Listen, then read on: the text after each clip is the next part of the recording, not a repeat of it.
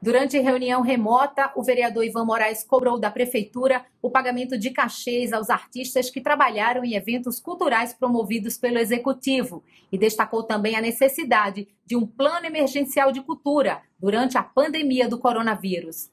É, pelo portal da Transparência, havia 39,6 milhões empenhados na Fundação de Cultura para pagamento de serviços culturais de pessoas jurídicas.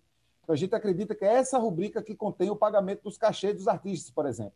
Desses, pouco, desses quase 40 milhões, é, 24 milhões, 1 foram liquidados.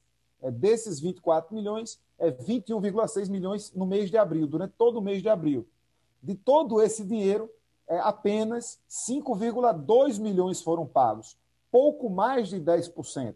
É, desses pouco mais de 5 milhões, 3,1 milhões em abril. Então está faltando muito cachê para pagar. Precisamos dos programas no ar é, para também é, prestar esse serviço é, à população com informação e também precisamos, naturalmente, é, que a gente, junto com a prefeitura, crie um plano emergencial de manutenção da nossa cultura durante todo o processo do coronavírus, assim como temos precisado é, de planos específicos para toda a nossa cadeia produtiva, para que a gente possa criar em conjunto um plano específico para a manutenção da cultura durante todo o processo de pandemia. Não é possível é que um dos nossos segmentos, uma das nossas cadeias produtivas mais profícuas, uma das nossas cadeias produtivas mais reconhecidas nacional e internacionalmente, é fique com o pires na mão, com seus e suas profissionais, sem a menor possibilidade de sobrevivência no período mais difícil de nossa história.